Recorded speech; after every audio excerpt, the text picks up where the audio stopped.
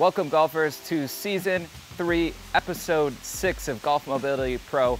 Today, Lauren is gonna show you four yoga exercises that you can do on and off the golf course to make sure your body is moving and feeling well. We'll start by warming up the spine through flexion and extension. I want you to stand with your feet about hip width apart, almost like you're standing at address. Bring your hands to your hips, or you can cross your arms over each other. Bend into your knees, make sure your feet are parallel, knees are tracking right in line with your toes. Start by finding a nice neutral spine. So your spine is long, you have a slight curve in the lower back, chest is lifted. From here, exaggerate this tilt in the lower back, pressing the tailbone back, creating an even bigger arch, and then reverse. Tuck your tailbone all the way under, scooping the belly, rounding through the spine. And again, so press it out, and then tuck it under. You can make this a little bit bigger by adding the shoulders and the upper body so you get an even bigger extension through the spine and then greater flexion as you round the shoulders, getting a stretch for the back. You'll repeat this about eight times.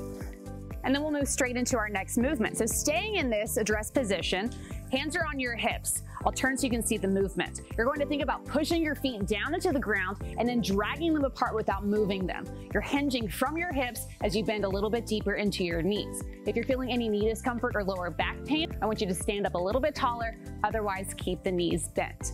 Chest is lifted, spine is long. From here, shift your weight over into your right leg. Hover your left foot just an inch off the ground. It helps to find a spot to focus on. And then you'll lower your left foot down, shift your weight over to the left foot, hover the right foot just an inch.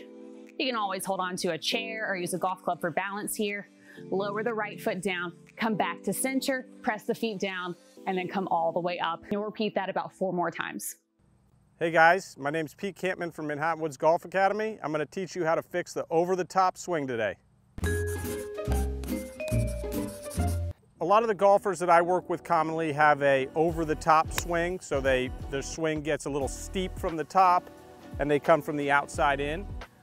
So this is a great drill for fixing that. Uh, basically, you tee up the ball as high as you can with an iron and you work on swinging more around, right? So you're trying to sweep the ball. So you're here and you're sweeping the ball, trying to just brush the top of the tee.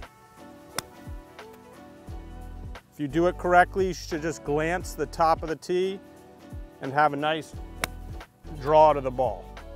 Thanks for watching this pro tip. I hope you enjoy the rest of the episode. From here, we'll continue to work on some single leg balance. I'm going to use a chair to show you how you can use something like this to help you balance, especially if you're first learning the movement. You can also hold onto a golf club for balance, or if you don't need it, you can keep your hands on your hips. Holding onto the chair with my right hand, I'm shifting my weight into my right leg, slight bend in the standing leg. I'm going to start by drawing my left knee up, foot is flexed, everything is facing forward.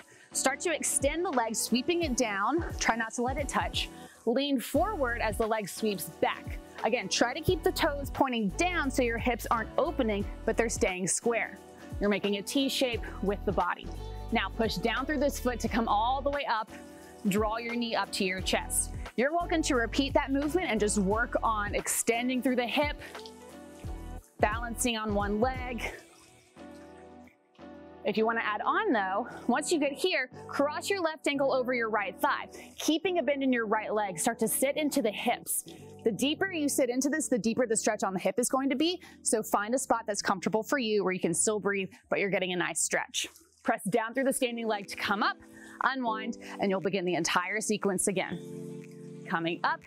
So from the front, as you cross your leg over, ankle over thigh, sit back, push down to come up, and repeat. Now finally, we'll turn the chair around and take a nice spine stretch with a standing downward dog. So facing the chair, you're going to step your feet a little bit wider apart than the edges of your mat. Reach your hands toward the seat of the chair, and you may need to walk your feet back further from here. Find a spot where you can extend the arms fully, and then let your chest drop down, holding here. Try to keep your neck long.